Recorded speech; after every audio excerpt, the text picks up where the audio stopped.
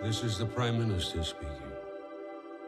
First, the news from the great operation in France. This magnificent effort of coordinated air, land, and sea has brought the Allied forces together to push the Nazis back and begin the liberation of France.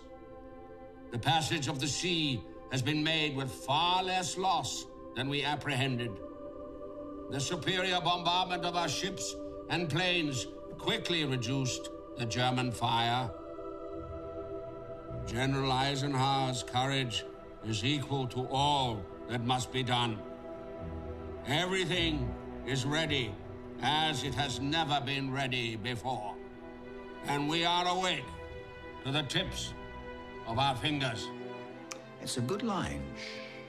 Last night, the dangers appeared very great. This morning, we have overcome them. This great war against Nazi domination is fought by ordinary people, the soldiers, sailors, and airmen in the field, and also those at home. We defy Hitler with our endurance and our strength of character and our refusal to give in to tyranny and oppression and the darkest evils in history. This is not a war for glory. It is a war for freedom. The Germans will strike back. We do not know where they will hit. Their new flying bombs have no pilot. Destruction sent forth in a soulless machine. This is a weapon of cowards, and cowards cannot win.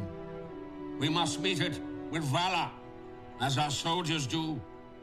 As those brave men fight on the beaches, we on the home front must fight on too, so that when they return, covered in glory, we may share their honor.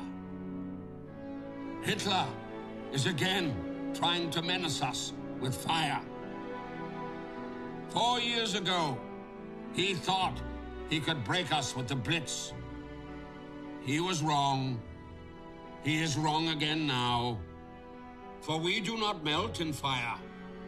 We are tempered by fire, like steel, and emerge strong and ready to fight. Hitler has started a fire which must burn him out of Europe. Our troops will fight on, and the Allies will fight on, and I shall fight on until we are free. We shall never surrender, and I